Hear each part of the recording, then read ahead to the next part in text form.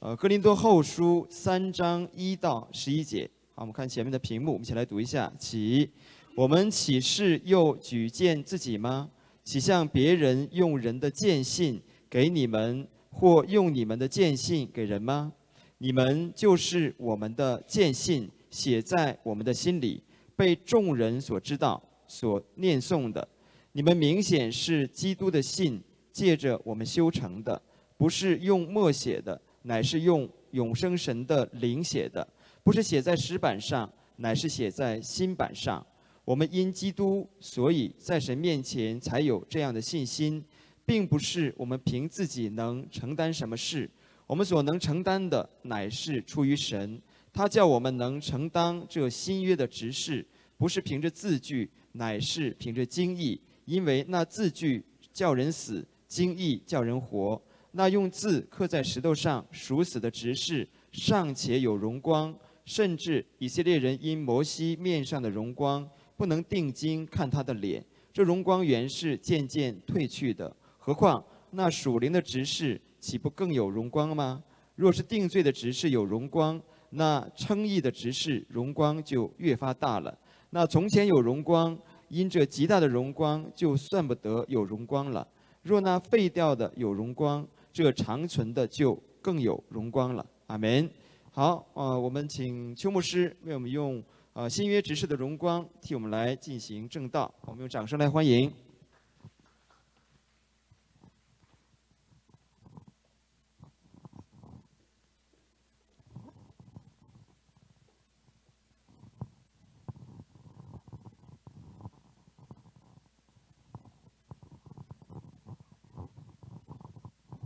弟兄姊妹们平安。今天我要正道的题目是新约执事的荣光。经文是哥林多后书三章十一节，三章一到十一节。一月份到八月份，我们都在讲哥林多教会，所以我们对于哥林多教会的。啊，问题还有它的背景都相当的清楚，所以首先要讲哥林多，说到介绍信的问题，然后谈到承担的事。保罗说，他叫我们能承担这新约的指示，不是凭着字句，乃是借着经意，因为那字句是叫人死，经意握着意。圣灵是叫人活，这也是我们这桌背诵的经文。接着保罗说，新约的执事，他的荣光与旧约执事的荣光啊，做了一个比较，讲到新约执事的荣光是越发的荣光，是极大的荣光。后面还有更精彩的，我们一起低头祷告。亲爱的慈父天父，愿圣灵在我们当中来运行，愿说的和听的都在神的爱中被建立起来，使我们的生命能够容神一人，荣耀归给神，奉耶稣基督的名祷告，阿门。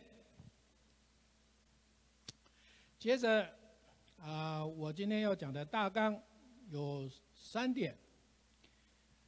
第一，新约执事的凭证；第二，新约执事的本质；第三，新约执事的荣光。首先要讲到我们新约执事的凭证。新约执事的凭证也有三点。一是侍奉的举荐，B 是侍奉的凭证，C 是侍奉的凭借。先讲到我们侍奉的举荐，《格林多后书》三章第一节：我们岂是又举荐自己吗？向别人用人的荐信给你们。我用你们的见信给人吗？举荐自己人的推荐信，或者是推荐书，啊，就是我们现在说的介绍信。在初级教会的时候，推荐信是当时普遍啊通用的，一直到现在都还在通行。我记得在美国念神学院的时候，啊，我去学校报名还要拿着啊牧师的推荐信，啊才可以申请学校报名。从使徒保罗说的这段经文来看呢，暗示有别人拿着推荐信进到哥林多教会工作，这别人呢在哥林多信徒面前诽谤保罗，他没有推荐信，怀疑他使徒的身份，而哥林多教会有些信徒竟然相信这些人的诽谤，甚至有可能啊。还要这个保罗拿推荐信给哥林多教会表明他的身份，所以啊，保罗才会这样说这段经文。就好像我们啊创立新中央教会的老牧师，有一天神感动他，让他回到新中央教会与弟兄姊妹们分享啊他的见证。难道他还要拿推荐信给现在的主任牧师，他的女婿吗？所以，我们就可以知道，这个诽谤人，他就是要来啊诽谤啊使徒保罗。那我们现在讲到 B 侍奉的凭证，你们就是我的见信。写在我的心里，被众人所知道、所念诵的。另外，我们还有一节经文，《格林多前书》四章十五节：“你们学基督，啊，因我在基督耶稣里用福音生了你们。”使徒保罗传福音给哥林多教会的信徒，建立教会。与他们一起服侍，啊，一共有十八个月。他在里面讲道，还有出去传基督的福音，啊，为主做见证。教会的弟兄姊妹们，谁生病了，啊，保罗就去探访；谁有困难，保罗就去关怀。所以保罗在生活里。牧养哥林多教会的信徒，与他们的生命是连接在一起的。这是被哥林多教会的弟兄姊妹们和众人所知道的。所以这个事实在保罗和同工们呢，以及众人的心里是，他们是知道的。啊，是被众人所念诵的，是不能抹灭的事实。所以哥林多教会就是保罗和同工们的一个推荐信的一个凭证。接着我们要说侍奉的凭借，是借着基督的信。这里不是讲信心，这里是讲我们的介绍信。经文第三，你们明显是基督的信，借着我们修成的，不是用墨写的，乃是用永生神的灵写的，不是写在石板上，乃是写在新版上。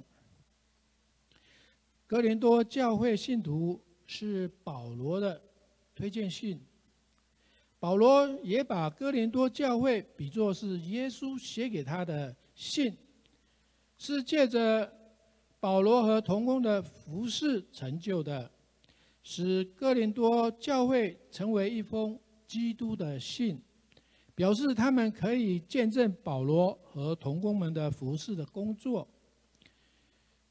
如果我们可以活出基督的生命，把福音传给人，让我们的亲朋好友、同事、同学，可以借着我们来认识福音，接受主耶稣基督，我们也能成为基督的信。阿门。现在讲到永生神的灵，经文第三节的第二段，你们不是用默写的，乃是用永生灵、永生神的灵写的，不是写在石头上，乃是写在新板上。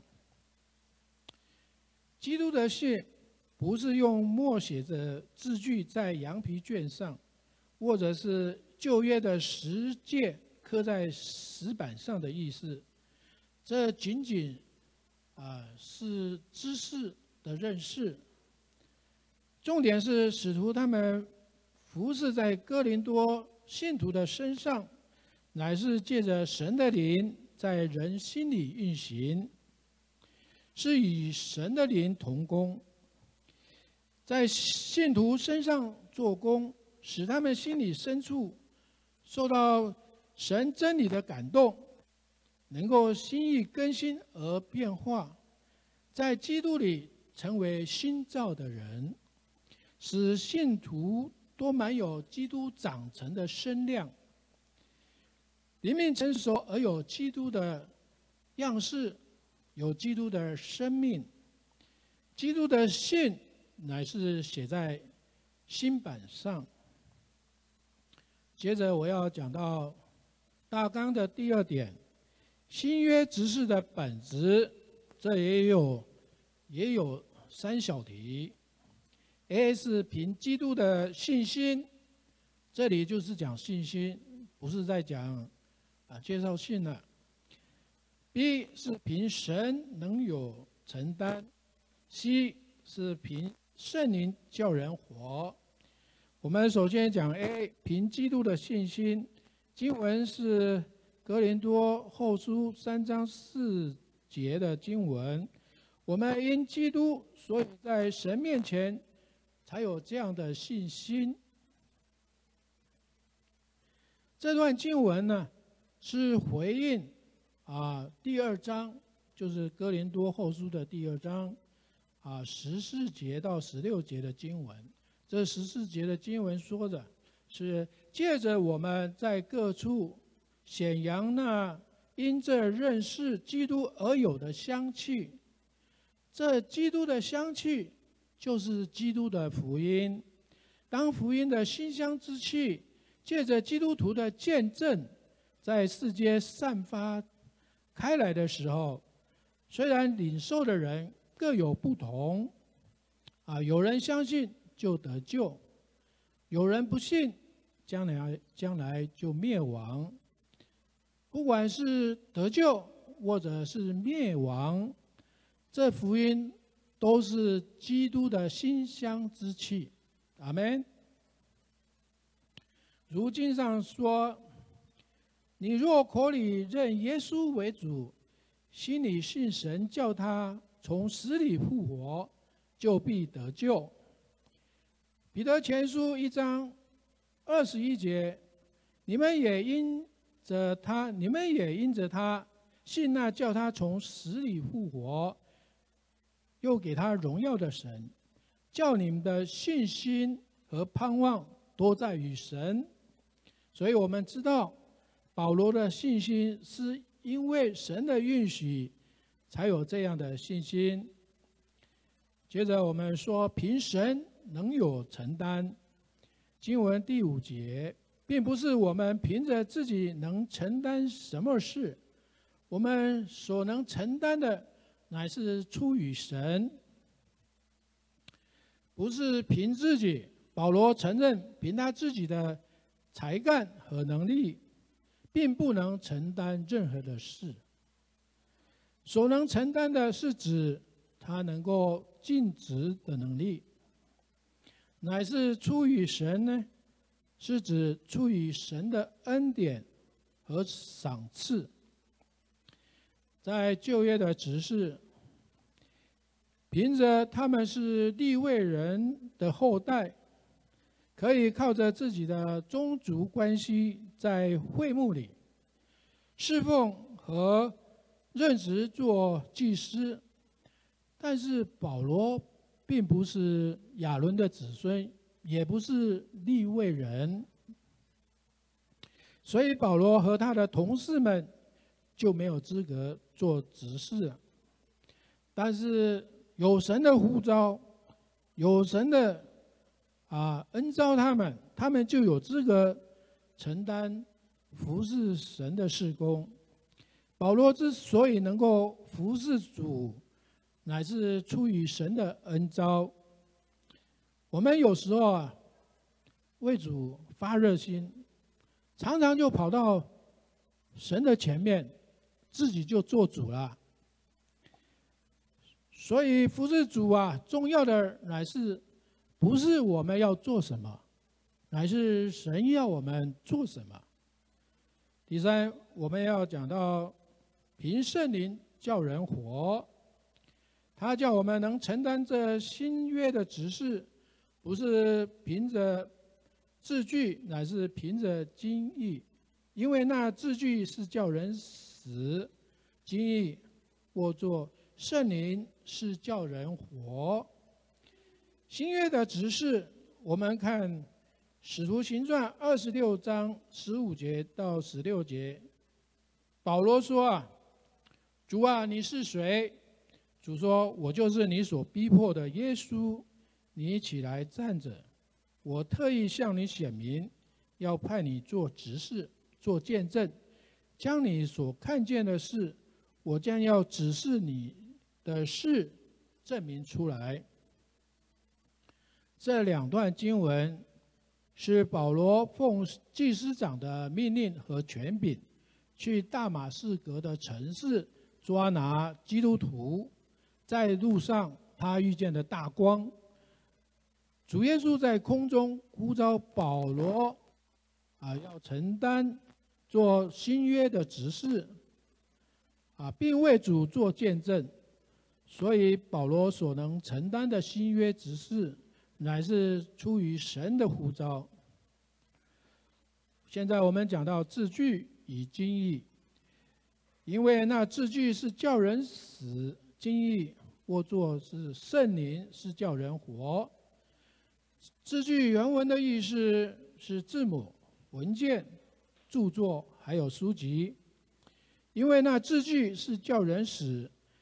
这里意思不是说我们所读的圣经上的字句是叫人死，而是指圣经上列出有关律法条文的字句，是那成文的律法叫人死的意思。我们另外来看两节经文，《罗马书》三章二十节。所以，凡有血气的，没有一个因循律法在神面前称义，因为律法本是叫人知罪，因为罪的工价乃是死。所以字句是指着律法说的，英文 law，律法，其实在希伯来文是 Torah。托拉原文狭义的讲是摩西五经，广义的说呢是启示的神教诲的神的教诲，还有神的指示。启示神是什么样的神？他是圣洁的神，所以他也要我们圣洁。神的心意是用律法来帮助我们，克制我们不去犯罪。神设立律法是神的公义，因为罪会使我们与神脱离了、隔离了、远离了。最重要的是，律法告诉我们怎样活出一个合乎神心意的生命。所以，律法的背后啊。原来是神的慈爱，因为托了让我们知道，神是圣洁的，神是公义的，神是慈爱的，阿门。十诫的律法有十条，前四条前四条是我们与神的关系，这后面的六条是我们与人的关系。这关系的背后啊，就是神要我们爱神、爱人。我们讲到新约十架的救恩，主耶稣也告诉我们要爱神、爱人。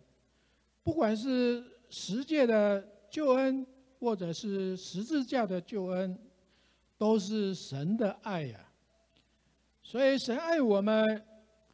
以先啊，神爱我们就爱到底，神的爱永不改变，我们也确信如此，因为他先爱我们，我们也要来爱神，来回应神的爱。只要传福音，就是承担新约的职事，来荣耀神，归荣耀与神。阿门。所以律法的颁布啊，神的标准，但是人的软弱、人的罪性，没有办法达成神的标准，啊，因为律法是叫人知罪，而罪的工价乃是死，因此律法看起来就像让人死亡，而律法没有像圣灵那一份叫人活的能力。阿门。接着我们来讲经义，原文作灵，也就是圣灵的意思。哥林多前书三章十六节，岂不知你们是神的殿，神的灵住在你们里头吗？神的大人使圣灵进到信徒的里面，所以信徒能够承担新约的指示。保罗把新约的恩典与圣灵得救和旧约的律法得救做比较，让我们看清楚新约指示的超越性。接着我们要说到圣灵叫人活。创世纪二章七节，耶和华神用地上的尘土造人，将生气吹在他的鼻孔里。他就成了有灵的活人，名叫亚当。耶稣说：“啊，人活着乃是灵，肉体是无益的。我对你们所说的话就是灵，就是生命。”提多书三章六节，圣灵就是神，借着耶稣基督，我们救主。厚厚浇灌在我们身上，这圣灵就是神，圣灵在我们身上一起同工，使我们能担当新约的指示，不是叫人死的律法字句，而是凭着圣灵的运行。换句话说，我们敬拜神、祈求祷告、传福音、为主做见证，这些呢，都是靠着圣灵的能力。在我们里面运行的结果，因此圣灵乃是叫人活。讲到大纲第三条，新约执事的荣光是经文哥林多后书三章七到十一节，这边也有三小题：一属灵比属死的有灵光。称义比定罪的越发荣光，长存比废掉更有荣光。我们先说属灵比属死的有荣光，这属属死的执事的荣光啊，是我们看经文第七节，那用字刻在石头上属死的执事。尚且有荣光，甚至甚至以色列人呢，因摩西脸上的荣光啊，不能定睛看他的脸，这荣光原是渐渐的褪去。这是保罗引用旧约圣经出埃及记的经文，三十四章三十四节到三十五节。所以我们也要来另外看其他的经文，加拉太书二章十六节，既知道人凡有血气的，没有一人因律法称义。约翰一书三章四节，凡犯罪的，就是违背律法；违背律法就是罪。罗马书六章二十三节，因为罪的工价乃是死，所以说旧约的执事是基于条文律法，是定罪叫人死的执事，是短暂的荣光。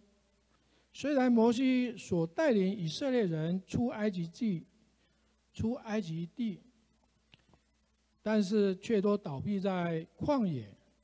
摩西没有亲自把以色列人带入迦南地，连他自己也死在旷野。但神还是尊重和荣耀他的仆人。当他在山上领受神律法的时候。因为神荣光的照耀，使摩西的脸也发光。虽然脸上的荣光会渐渐的消失，但属死的执事尚有荣光。我们看到神还是荣耀了他的仆人摩西。现在我们讲到属灵执事的荣光，经文第八条。第八节，何况那属灵的执事，岂不更有荣光吗？这一节的经文答案在三章的十七节到十八节。我们来看经文：主就是那灵，主的灵在哪里，哪里就得自由。我们众人既然敞着脸，得以看见主的荣光，好像从镜子里。反照啊，在这里就请接下面一张的 PowerPoint，就变成主的形象，容上加容，如同从主的灵变成的。我们既蒙怜悯，受了这职分，我们敞着脸可以看见主的荣光，好像从镜子里反照。就变成主的形象，荣上加荣，如同从主的灵变成的。哇，这属灵的执事是何等的荣光和荣美啊！虽然我很少照镜子，可是有时候我会为了耶稣，啊，就看看镜子的自己，是不是越来越像耶稣呢？现在我们要讲到，称义比定罪越发荣光。若是定罪的执事有荣光，那称义的执事荣光就越发大了。我们先说定罪的执事有荣光。加拉太书三章二十四节，这样律法是我们训蒙的师傅。引我们到基督那里，使我们因信称义。旧约在律法底下的侍奉，是借律法规范神的子民，而人既不能遵守全部的律法，所以必被律法来定罪。因此。旧约的执事乃是定罪的执事。神的慈爱让律法是我们的训蒙的师傅，引我们到基督那里，使我们因信来称义，成为神的荣耀。阿门。现在我们要说称义的只是荣光大。罗马书十章四节，律法的总结就是基督，使凡信他的都得着义。提多书三章五节，他便救了我们，并不是因我们自己所行的义，乃是照着他的怜悯，借着重生的喜和圣灵的更新。新约的侍奉是带领人接受因信称义的恩典，所以称为称义的执事，而不在乎遵循律法。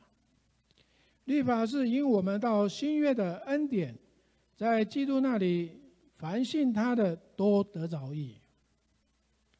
我们今天所领受新约的指示，是根据基督的救恩，他救了我们，并不是因为我们自己所行的义，乃是照着他的怜悯，借着重生的喜和圣灵的更新。所以称义的执事，比定罪的执事就更有荣光了。讲到第三点，长存比废掉更有荣光。那从前有荣光的，因这极大的荣光，就算不得有荣光了。第十一节。若那废掉有荣光，这长存的荣光，这长存的就更有荣光了。从前有旧约的执事和现在新约的执事，是因为神救恩的策略不同。神的救恩在旧约的策略是十诫的救恩，是以律法为本。但没有人可以能够满足神的律法要求，所以旧约的时代也称为律法时代。神的救恩在新约的策略是十字架的救恩，是以恩典为本，人人都可以因信称义，满足神的要求。新约的时代也叫做恩典时代。十诫的救恩虽然是神的恩典，可是作用小，效果不大，如同天上的星星点点的荣光。但是十字架的救恩啊，却如白天大太阳，大太阳的荣光，相对对夜晚的星光，就算不得有荣光了。现在我们讲到长存更有荣光，经文十一节，若那废掉的有荣光，这长存的就更有荣光了。这个十一节的答案也在这个啊经文的后面十三节。我们来看哥林多后书三章十三节，不像摩西将帕子蒙在脸上。叫以色列人不能定睛看到那将废者的结局，因为摩西脸上的荣光会慢慢的褪去。另外，我们再来看一节希伯来文八章十三节，既说新约就以全约为旧了。但那渐旧渐衰的，就必快归无有了。所以这长存更有荣光的经文，还有两节。提摩太后书四章十八节，主必救我们脱离诸般的凶恶，也必救我们进他的天国。约翰一书五章十一节。这见证就是神赐给我们永生，这永生也是在他儿子里面，就是主耶稣基督。阿门。以前是短暂、是废弃的，而长存却是永恒在天国的荣耀。